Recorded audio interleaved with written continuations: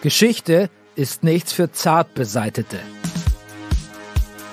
Königshäuser, Paläste und Parlamente waren schon immer Schauplatz von mörderischen Intrigen, Rachefeldzügen, von Hinrichtungen und tragischen Todesfällen. Und das nicht selten mit schwerwiegenden Folgen für die Weltgeschichte. Anders gesagt, mein Name ist Bernie Meyer und das ist Kill Royale.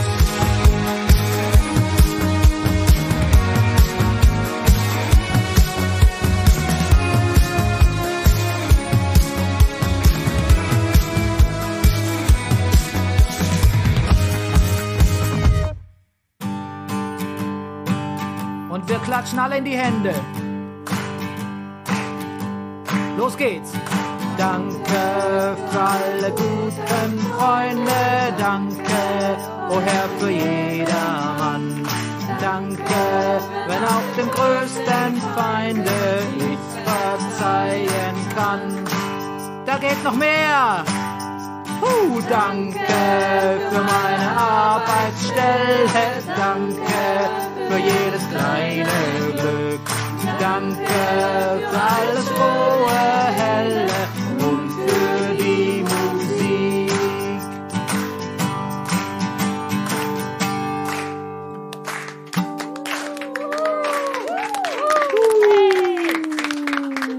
So gut. Nein, keine Sorge, ihr seid nicht beim Kirchentag gelandet. Aber ich habe gedacht, wenn es heute schon um die Salattage des Protestantismus geht, dann kann man doch auch mit so einem evangelischen Dauerbrenner starten, oder? Wobei, das ist ja vermutlich eher ein Remix. In den Anfangstagen vom Protestantismus hätte dieses Lied sicher ganz anders geklungen. Danke, dein Heil kennt keine Schranken. Danke, ich halt mich fest daran danke, ach Herr, ich will dir danken, dass ich danken kann.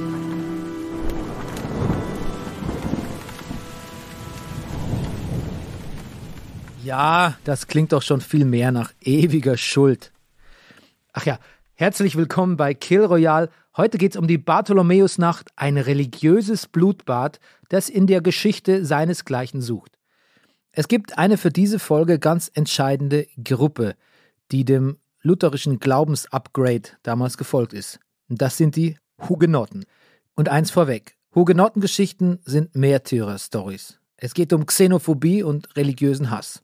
Das wird kein Zuckerschlecken. Aber das Wort Hugenotten, das klingt ja zunächst kurios, oder? Vielleicht sogar ein bisschen albern.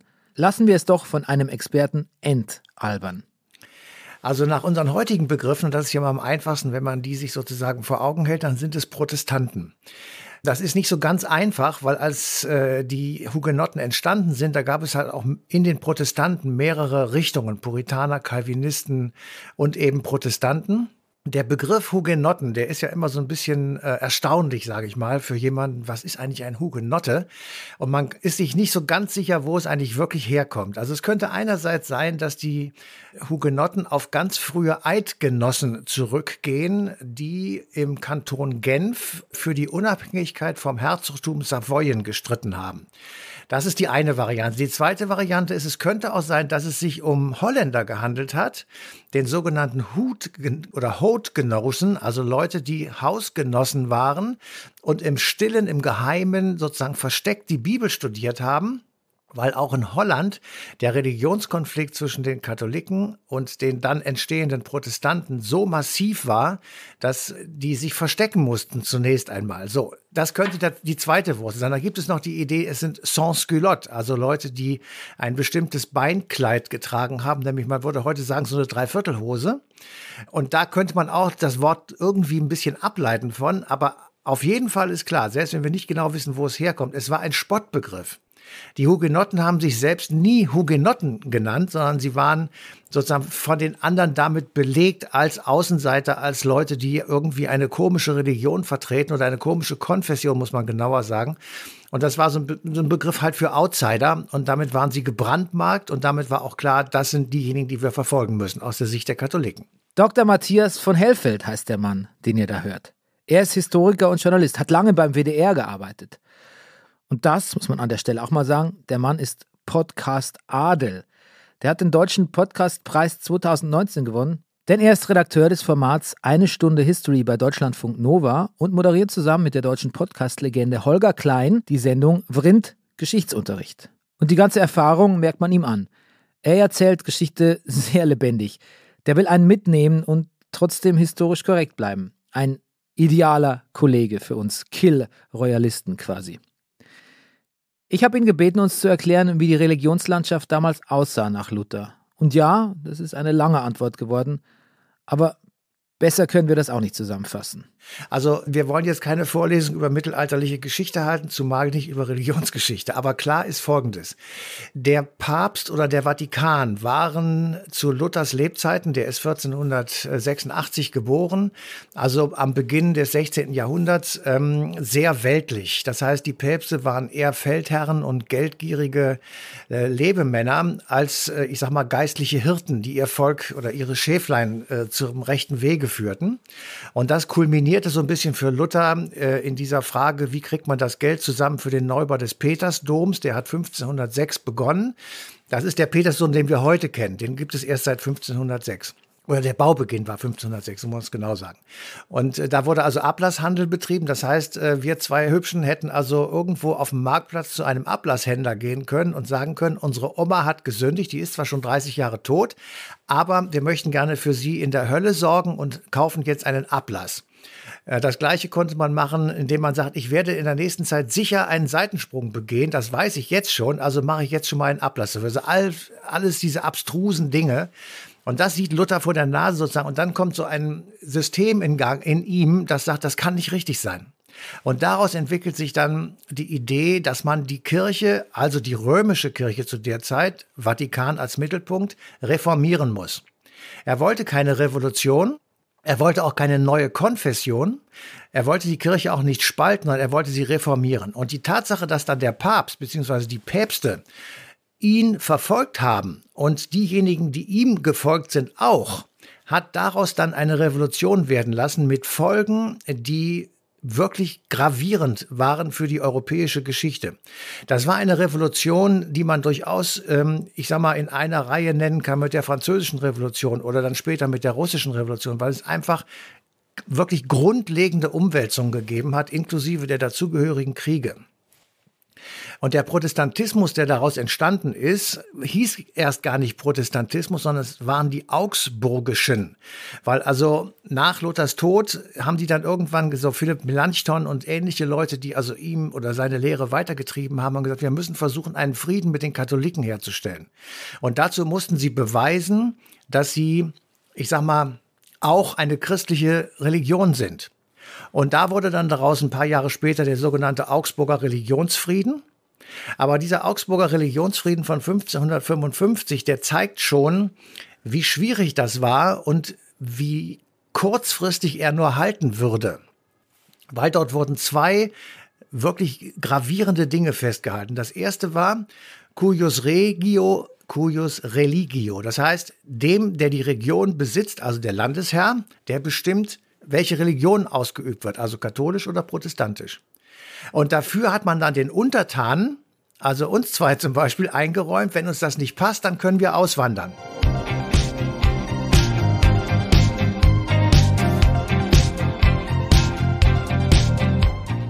Wir bleiben im Frankreich des 16. Jahrhunderts. Das Königshaus hatte schon schlechtere Zeiten. Die Krone ist anerkannt und die Leute haben sich mit der Monarchie arrangiert. Nur dieser Protestantismus, der plötzlich überall auftaucht, der wird zum Problem, weil er so viel in Frage stellt. Wie kann man sich auf ein und dieselbe Bibel beziehen und trotzdem zu fundamental anderen Schlüssen kommen? Das fasziniert und provoziert natürlich in einer Welt, in der Katholizismus als einzig natürliche Auslegung von Religion gilt. Als einzige Möglichkeit, Gott zu finden oder sein Seelenheil in so einer bedrohlichen Welt.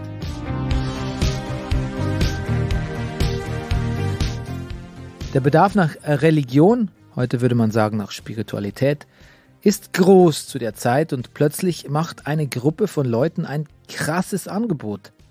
Den Papst kannst du dir schenken.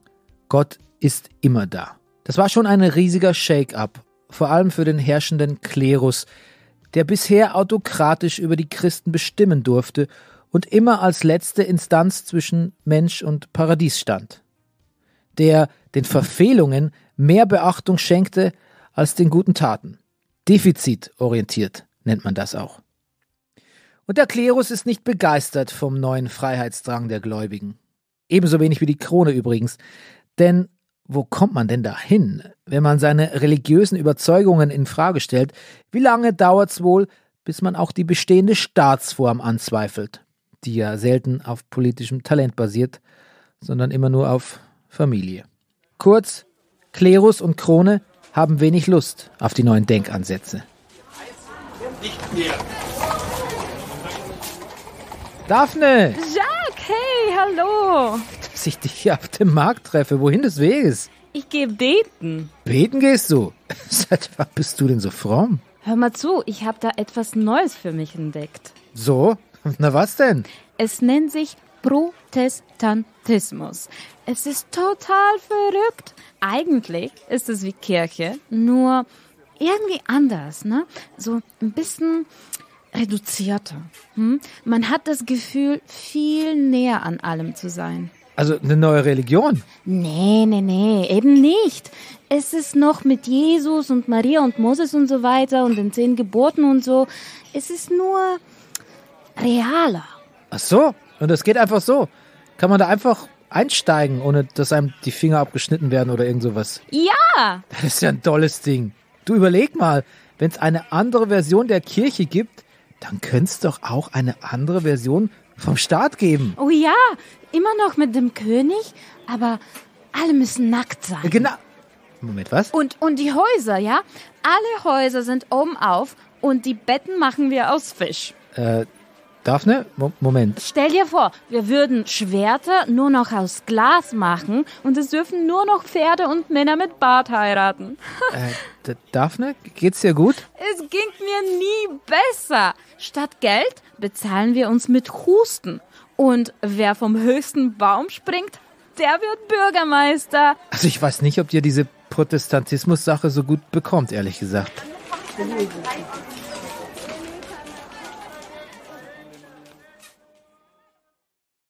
Die Königshäuser müssen reagieren. Franz I. legt los, verbrennt 1535 zum ersten Mal Hugenotten in Paris. Auch seine Nachfolger Heinrich II. und Franz II. versuchen es mit Verboten gegen Protestanten, was immer wieder in blutigen Ausschreitungen endet, die sich letztlich auch die französischen Religionskriege nennen. Trotzdem bekennen sich immer mehr Menschen zu dieser neuen Religion. Es muss also was dran sein – wenn die Menschen sich freiwillig dafür einsperren und bestrafen lassen.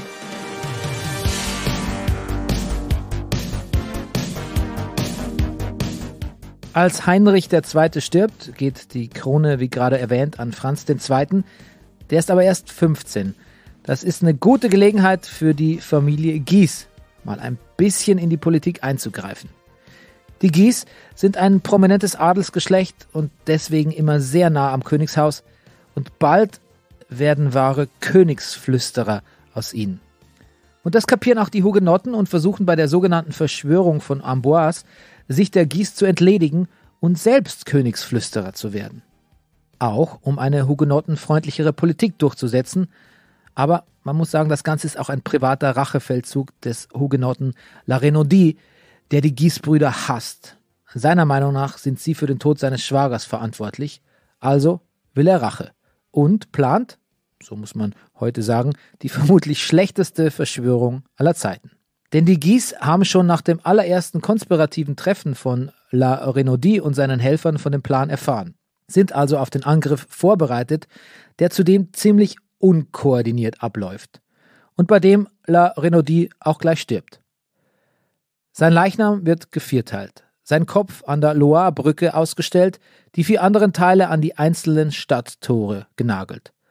Das nennt man übrigens auch Übertötung oder Overkill. Wir lernen, mit den Gießbrüdern ist nicht gut Kirschen essen und vermuten mindestens leichte Anger-Management-Issues.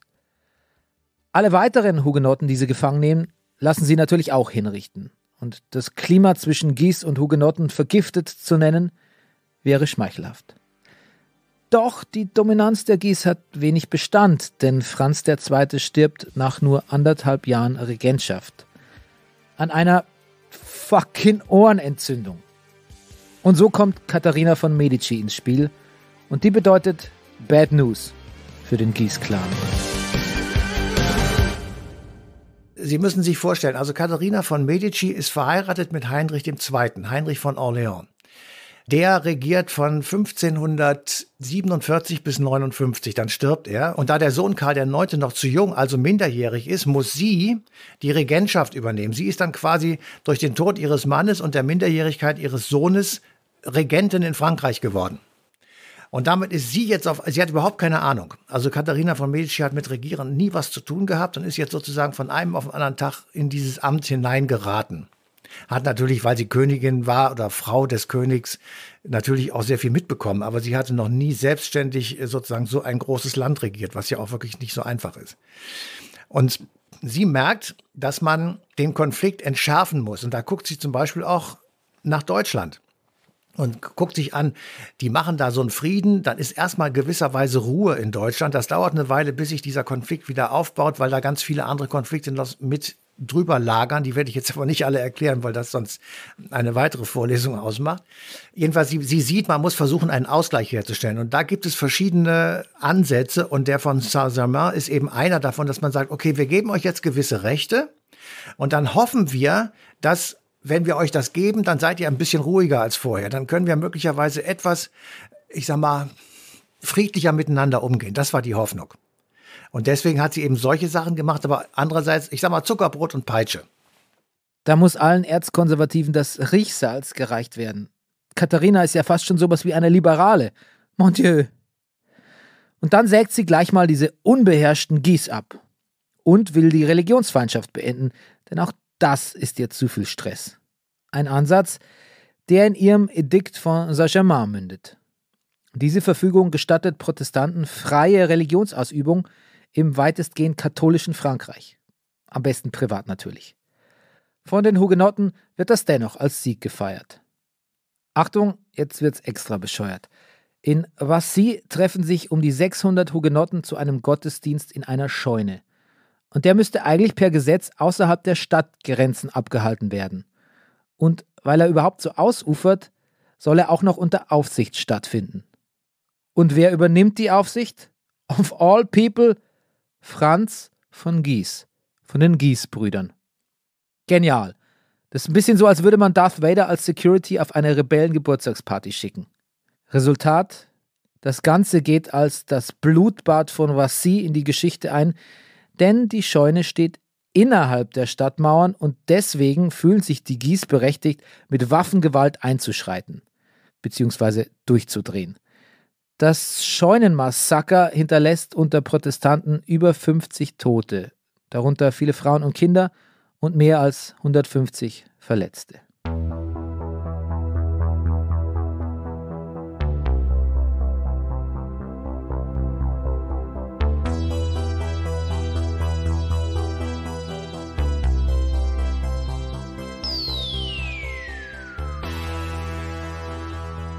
Das ist im wahrsten Sinne des Wortes der Startschuss zu den Hugenottenkriegen.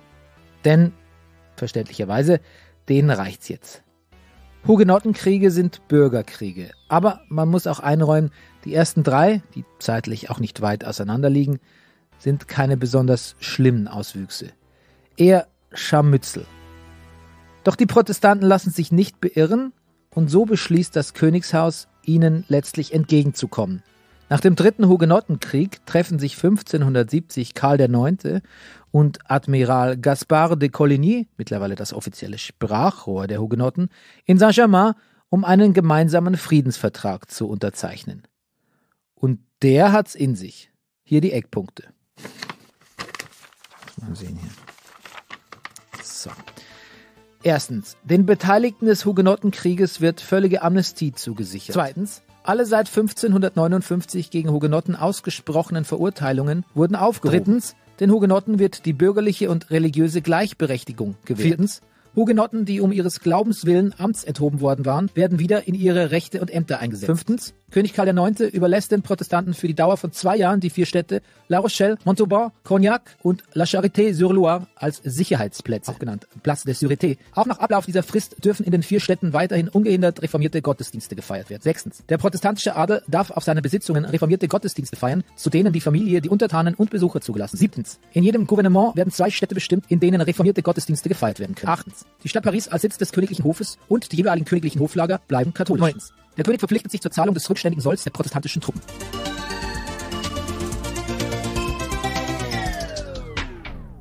Es gibt natürlich noch weitere Punkte, aber allein die sprechen eine deutliche Sprache. Das sind mehr als nur Zugeständnisse an die Hugenotten. Das ist im Grunde die Anerkennung ihres Glaubens. Gut verhandelt, kann man sagen. Die Hardcore-Katholiken sind natürlich jetzt auf 180.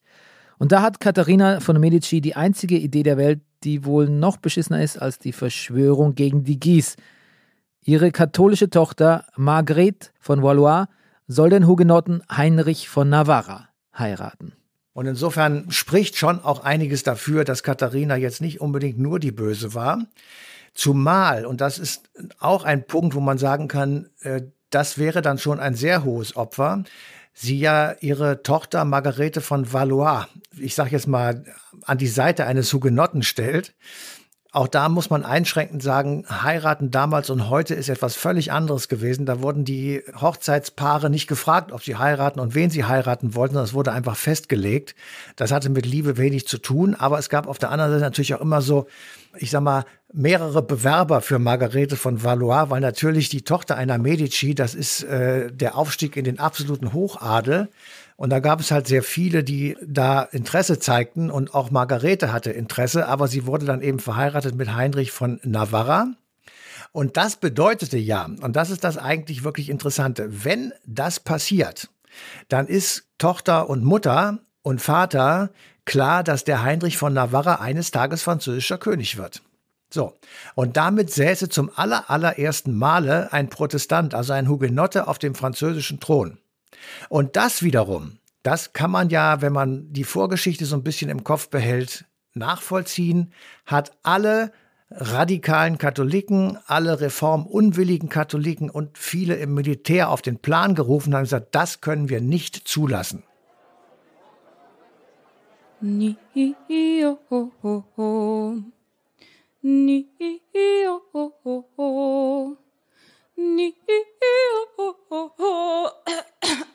So, wir singen aus dem evangelischen Gesangbuch, Lied 420. Brich mit den Hungrigen dein Brot. Drei, vier. Brich mit den Hungrigen dein Brot, sprich mit den Sprachlosen ein Wort, sing mit den Traurigen ein Lied, teil mit den Einsamen dein Haus, teil mit den... Leute, das soll doch hier kein Gottesdienst werden, oder? Hat euch der Dankesong am Anfang nicht gereicht? Ach so, sorry. Ja, ey, wir haben die ganze Zeit von Protestanten geredet und ich saß hier und dachte auf einmal, ich bin wieder im Konfirmationsunterricht. Das, das ist einfach so super alte Reflexe, die stecken sehr tief fest, weißt du? Ja, schwamm drüber. Die Heirat, die eigentlich ein Symbol des Friedens zwischen den Religionen, aber auch zwischen den politischen Gegnern werden soll, kippt ins komplette Gegenteil. Am 18. August 1572 beginnen die Feierlichkeiten in Paris – die Straßen sind voll, man hat das Gefühl, das ganze Land ist auf den Beinen. Und natürlich ist auch der bei den Katholiken zutiefst verhasste Hugenottenführer Coligny mit dabei, der durch die Hochzeit übrigens komplett von der Krone rehabilitiert wurde. Am 22. August am späten Vormittag kommt Coligny gerade aus dem Louvre. Und was dann passiert, da ist sich die Geschichtsschreibung etwas uneinig. Coligny bindet sich seinen Schuh zu. Oder bückt er sich? Oder spuckt er auf die Straße? Oder öffnet er einen Brief in einer seltsamen Körperhaltung? Anyway, während einer dieser Bewegungen wird auf ihn geschossen. Ein Attentat auf offener Straße, das zunächst misslingt. Der glücklose Attentäter wird dann auch da aufgespürt, wo man sowieso als erstes hätte nachschauen sollen, im Haus der Gies. Quelle Surprise.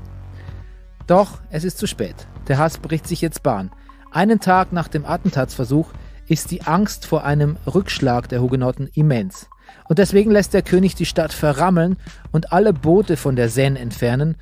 Zudem wird die Stadtmiliz bewaffnet. Katharina von Medici und der König wollen kein Blut vergießen, aber vorbereitet sein, falls die Hugenotten Amok laufen, was man ihnen offensichtlich zutraut. Diese Panik weiß einer natürlich perfekt zu nutzen. Der Herzog von Guise. Er marschiert noch in der Nacht zum 24. mit einer Truppe ins Haus von Coligny und tötet ihn. Und danach alle anderen Hugenottenführer. Der Leichnam von Coligny wird durch die Stadt geschleift, verstümmelt, angezündet und in der Seine versenkt. Übertötung. Da ist sie wieder. Die Gis sind im Blutrausch und dieses Mal vergiften sie gleich die ganze Stadt mit. Oder das ganze Land. Die Leute morden wahllos alles, was sie für Hugenotten halten. Männer, Frauen, Kinder, völlig egal. Die Straßen von Paris färben sich blutrot und das ist keine Metapher.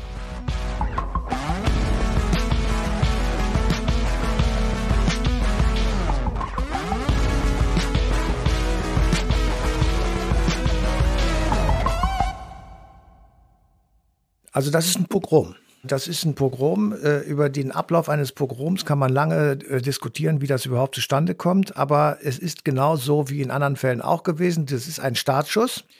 Und dann läuft etwas aus dem Ruder. In dem, in dem Moment, wo diese Nachricht äh, sozusagen in den Straßen von Paris publik wird, dass der Hugenottenadmiral Coligny also umgebracht wurde und mehrere andere auch, verbreiten interessierte Kreise, sage ich mal, diese Nachricht und sorgen dafür, dass es genügend Leute mit Knüppeln in der Hand gibt, die jetzt Jagd auf Hugenotten machen. Und dann, also mal abgesehen von der interessanten Frage, warum wird der Mensch zu einer Bestie in solchen Situationen, ja, die kann ich natürlich auch nicht beantworten, aber es gibt so eine Art Gruppenrausch, der irgendwie offensichtlich dazu animiert, gleiche Taten zu begehen, wenn man in so einer Gruppe irgendwie ist und sich stark fühlt. Das muss so etwas auch gewesen sein. Und dahinter steckt immer, und das ist deswegen, haben wir am Anfang so viel über den gesamten Religionskonflikt in Europa gesprochen. Es steckt dahinter der Aufruhr in der Weltordnung. Für die einfachen Menschen war das, was dort auf sie zukam, eine mehr als eine digitale Revolution. Ja, das war, das, da wurde denen der Boden unter den Füßen weggezogen und Sie sahen jetzt die Leute vor sich, die da sozusagen für verantwortlich waren. Da ließ sich die Angst und die Sorge, die sie hatten, relativ leicht ummünzen auf diese Person, die da gerade vor ihnen stand. So, und dann kriegen sie einen Knüppel in die Hand, ein Gewehr, was weiß ich, ein Messer und äh, schon sind sie von Sinnen und fangen einfach an, die Leute umzubringen. Das ist also eine Erklärung kann ich dafür nicht wirklich geben. Ich kann einfach nur sagen, es ist ein erschreckendes Phänomen, was wir in der Weltgeschichte oder in der europäischen Geschichte, bleiben wir mal dabei, wirklich sehr oft sehen, wo aufgrund irgendeines Anlasses auf einmal Hunderte oder Tausende von Menschen umgebracht werden, die damit überhaupt nichts zu tun haben. Dieses Pogrom zieht über ganz Frankreich hinweg. Überall werden Hugenotten gejagt und getötet. Heute geht man von mindestens 3000 Toten in der Provinz und 2000 in Paris aus, wobei die Dunkelziffer noch viel, viel höher sein dürfte.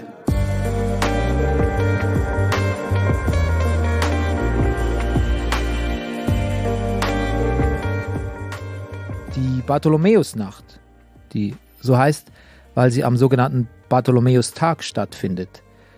Die Pariser Bluthochzeit, wie man sie auch nennt, setzt einen grausigen Trend. Für die nächsten Monate werden an jedem Tag an einem anderen Ort Hugenotten von einem wild gewordenen Mob abgeschlachtet. Der französische Historiker Jules Michelet spricht deswegen auch von einer Bartholomäus-Saison und nicht Nacht.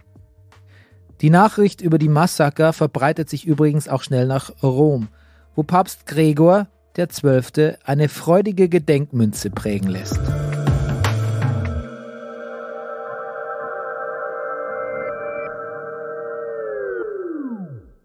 Nach 1572 sind die Hugenotten arg dezimiert. Nicht nur wegen der Opfer, sondern auch, weil viele aus Angst zum alten Glauben zurückkehren. Und jetzt brennt mir eine Frage unter den Nägeln. Gibt es auch heute noch Hugenotten? Also mir ist bewusst nie einer begegnet, aber ich frage die Leute ja auch selten nach ihrem religiösen Stammbaum. Deswegen bin ich mit Dr. Andreas Flick zu einem Telefonat verabredet. Der ist nämlich der Vorsitzende der Deutschen Hugenottengesellschaft gibt es ja keine Hugenotten mehr. Also Hugenotten ist ja ein sozusagen eine Menschengruppe der Vergangenheit, die in der nachreformatorischen Zeit lebte. Menschen, die sicherlich uns in ihrem Denken auch äh, vielen fremd sind. Hugenotten waren überzeugt, sozusagen, dass wenn sie äh, katholisch würden, sage ich es mal so extrem, dass sie danach in die Hölle kommen. Ganz ehrlich, ganz platt mal gesagt. Umgekehrt dachten Katholiken, wenn sie hugenottisch werden, kommen sie in die Hölle. Es ging ihm um Seelenheil, ums himmlische Heil und alle um diese Fragen. Es ging ihnen um die Glaubenswahrheit. Und da haben sie halt andere Ansichten vertreten als die katholischen, eben durch die Reformation, ursprünglich durch dann Martin Luther, später insbesondere durch Johannes Calvin vertreten. Daher ja, sind sie halt evangelisch. Und heute kann man diese Unterschiede ja natürlich zwischen Katholiken und Protestanten und reformierten Lutheranern nicht mehr ausmachen. Wie war denn eigentlich das Selbstverständnis der Hugenotten? Haben die auf andere Religionen oder auf die Katholiken herabgeschaut? Das hat man sich sicherlich. Sie, man hat sie angesehen, als dass sie vom sagen biblisch vorgegebenen Weg sicherlich abgewichen sind. Und äh, aber man hat die Hugenotten andersrum auch als humorlose Gestalten gesehen, die immer nur in Schwarz rumliefen und die Katholiken, die konnten feiern, die hatten ihren Karneval, die hatten andere Feste, die hatten ja unglaublich viele Feiertage und all das hatten die Hugenotten ja abgeschafft.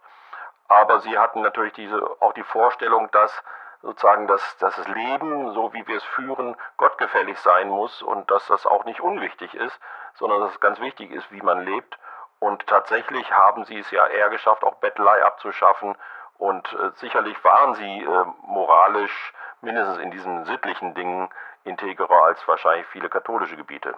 Ich bin eigentlich jetzt fertig mit meinen Fragen an Dr. Andreas Flick, doch ich merke, dass der noch was loswerden will letztes Jahr eine große Ausstellung gezeigt in Kooperation mit der Gesellschaft für bedrohte Völker in Göttingen. Und wir hatten schon eine sehr große Ausstellung zu der Glaubensgemeinschaft der Esiden, die ja besonders ganz schrecklich von dem IS verfolgt worden sind. Und mit Esiden eine große Ausstellung mit Tanz und Musik und allem auch für ein Jahr lang in Karlshafen durchgeführt und auch da äh, wirklich hingewiesen, dass die Frage der Glaubensverfolgung nicht nur eine Frage der Vergangenheit ist, dass wir nicht nur in Geschichtsrückschau äh, arbeiten und leben, sondern auch gucken, äh, das Thema ist leider heutzutage immer noch genauso brisant wie früher. Ist vielleicht wichtig zu sagen. Also wir sind kein Traditionstrachtenverein oder sowas, sondern achten schon auf die Glaubensrechte der Menschen heute.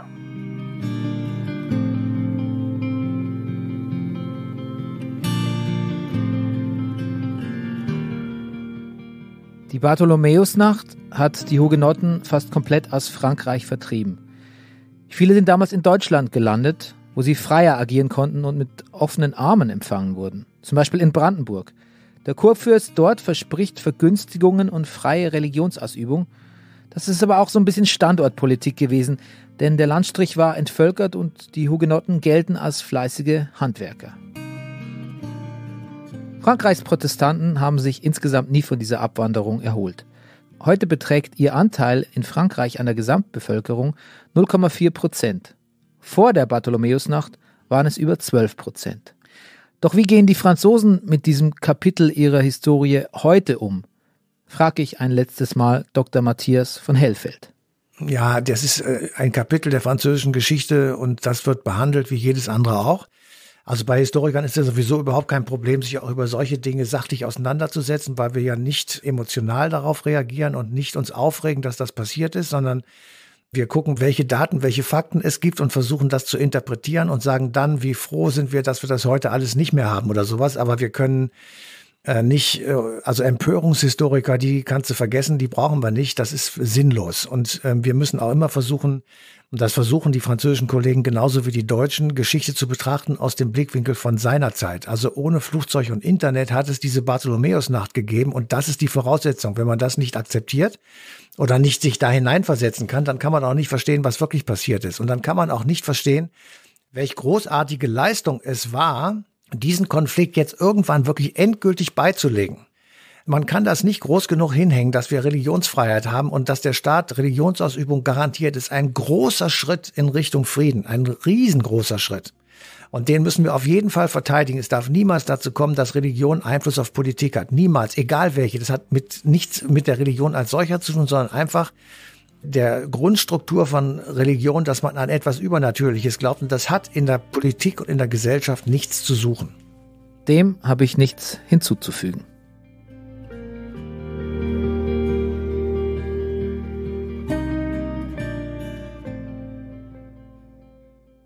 Nächstes Mal bei Kill Royal. Die letzte Drachenkaiserin, die letzte Monarchin Chinas. Sichi, eine faszinierende Frau, die sich vom Harem zum Thron durchgefeitet hat und die Geschichte Chinas dabei nicht immer zum Vorteil mitgestaltete.